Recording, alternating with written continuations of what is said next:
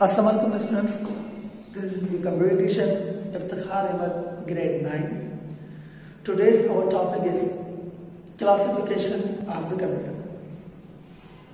If you are going to talk for the three types of computer and they are digital, analog and the hybrid. Now the question is why they are used, where they are used and how to use. Simply, commonly, we all are using the digital computers because it provides fixed data through the binary method where zeros and ones are applied, they are calculated in a processing method. The signals are straight in this manner. Whenever we calculate anything, the result always comes in a fixed point, it never changes. We have analog computers. Analog, analog computers are using the continuous form of the signals. Where data never comes in a fixed point, it always changes its place. For example, if you are just going to find, going to calculate any liquid like the petrol or whatever.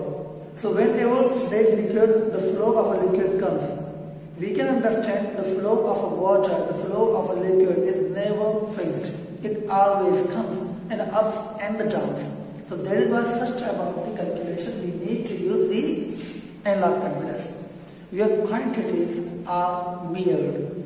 For example, not only the uh, petrol, but such type of things, for example, temperature we can see the temperature uh, which comes through the sunlight. It always not, it does not remain same, it always changes its place.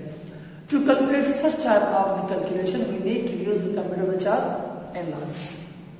Finally, we have the hybrid computers. And what are the hybrid computers?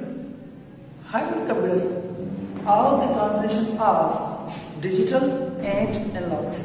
Where they are used? They are used for example, to measure uh, the weather, the temperature, or the mixed form where the fixed and the continuous data are calculated together. So in these type of places, we use the hybrid computers. The example of the hybrid computer are especially supercomputers, where their performance is awesome and they are always used to find the data of the weather and finally they provide to the world where it comes in our cell phone in the shape of a weather applications. I repeat, digital computers are those which are processed by the binary method, which is zeros and ones. Their signals are straight. They always give the data in a fixed point. Where analog computers are those which never calculate data in a fixed point but give the result in a continuous form. The signals are in a wave shape. In a wave shape. The hybrid or the combination of these both where these both type of data is calculated in a hybrid hybrid method.